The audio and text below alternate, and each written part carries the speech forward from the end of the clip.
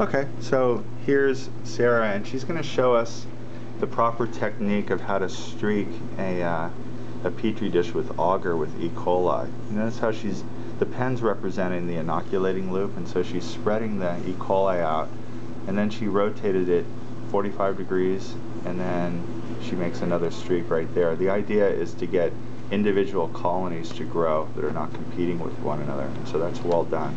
So I think that's a good image, know, so now she's going to show the real thing.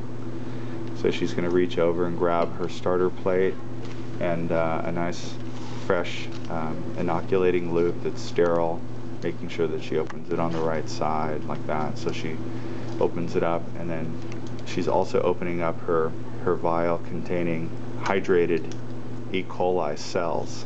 And so she pulls that out and now she's dipping it in Notice how she's making sure that she's got uh, liquid on the outside of the loop right there. That's well done. She opens up the dish, and so she's going to employ the same streaking technique that you saw earlier on the paper. Notice the, the, that nice 45 degree rotation. So she's got one more, and then she rota rotates it one more time. That's really well done. And then the cap goes back on, or the, or the top to the petri dish.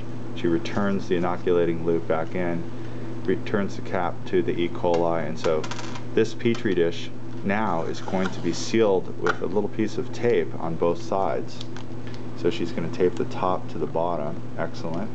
Now if, if this uh, dish uh, once the E. coli grows up, this could be stored in the refrigerator and then you'd want to use parafilm. And so she's going to now walk it over to our incubator. And so here's our 37 degree incubator. And so she's going to place it in, but notice how she places it in upside down, so it's top down, so that the condensation doesn't interfere with the bacteria growing. So we're going to grow this starter plate for 24 hours, and then we're going to transfer it to a liquid LB broth